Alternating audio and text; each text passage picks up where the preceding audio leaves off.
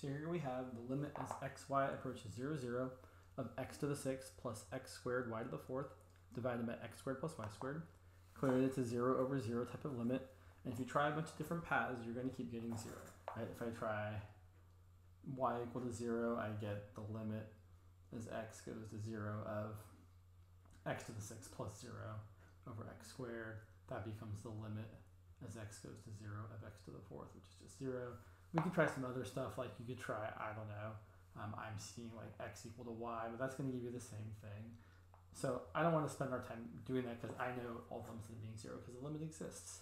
So for the squeeze theorem type thing, you're usually looking for something with an x squared plus y squared. That's usually going to make things, it's going to be something we want. So I know that x squared plus y squared is always, oh, holy smokes, my pen just burst on me. So let me grab a different pen.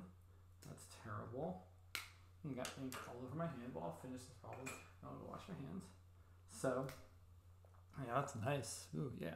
So, I know that x squared plus y squared is always greater than or equal to zero. And so what I'm trying to do in some sense is get something on top that's less than that. So here's what I see. I can factor out on top an x squared.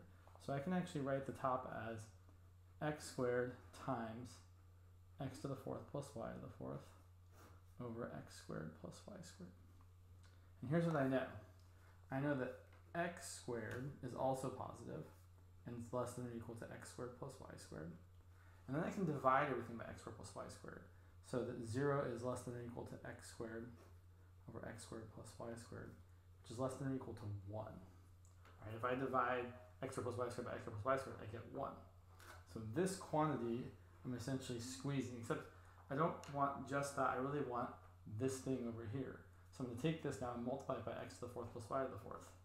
So I'm going to have 0 is less than or equal to, right, so I'm multiplying 0 by x to the fourth plus y to the fourth is less than x squared over x squared plus y squared times x to the fourth plus y to the fourth is less than or equal to 1 times x to the fourth plus y to the fourth. But now I can take the limit of the left side and the right side. So again, we need the thing we want to find the limit of to be squeezed between two things. The limit as x, y goes to 0, 0 of 0 is obviously 0. The limit as x, y, whoops, I just pushed a button, hopefully it didn't affect anything, goes to 0, 0 of x to the fourth plus y to the fourth. I can just plug in zeros and get 0.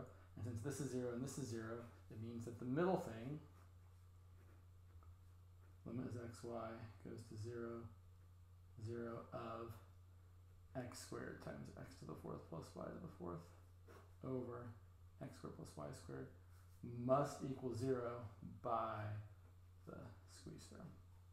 So I hope that kind of helps clarify what you're looking for. You're usually looking for something to be less than 1, so you can say that then the inside part, so I got this less than 1, then I can multiply that by that to say that this inside part ends up being less than something that you can actually take the limit of and bigger than usually zero.